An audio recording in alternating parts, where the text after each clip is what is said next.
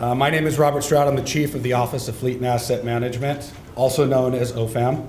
OFAM is responsible for policy development, oversight, customer support, including carrying out the administration's green initiatives in the statewide travel program, fleet and mobile equipment acquisition management and disposition, employee parking, vehicle rentals and leases, automotive inspections, and surplus property. If you haven't had an opportunity to come out to the warehouse in Natomas, I encourage you to do so. It's a dynamic facility, so please feel welcome to come on out and check it out.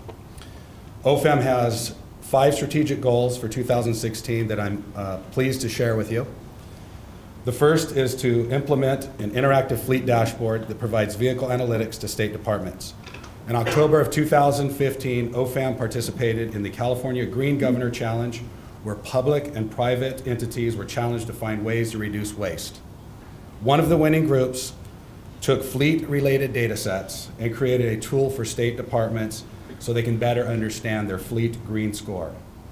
Working with our partners at the Department of Technology, we hope to enhance that dashboard. Our goal is to provide departments with an interactive tool for better fleet management, lowering greenhouse gases, and reducing pet petroleum consumption. Goals two and three are about reducing statewide petroleum consumption and reducing petroleum in the DGS fleet by more than 5% and more than 20% respectively. In December 2015, we released Management Memo uh, 1507 mandating bulk fuel consumption. Once fully implemented, we anticipate displacing approximately 8 million gallons annually of diesel and biodiesel with low carbon intensity renewable diesel. In addition, we're currently drafting a management memo that will mandate hybrid electric vehicles be purchased in lieu of uh, light duty vehicles that are powered by petroleum based fuels.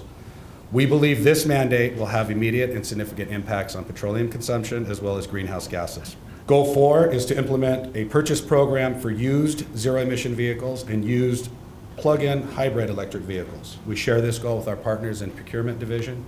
We currently have engaged manufacturers and financiers and to begin to develop this particular program.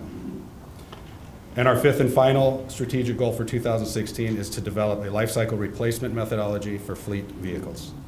We've contracted with Mercury, a fleet management expert. They're going to assist us with creating a replacement cycle we're at the tail end of that study. In the next few months, we'll be drafting policy that will shift and enhance how we determine when an asset is replaced.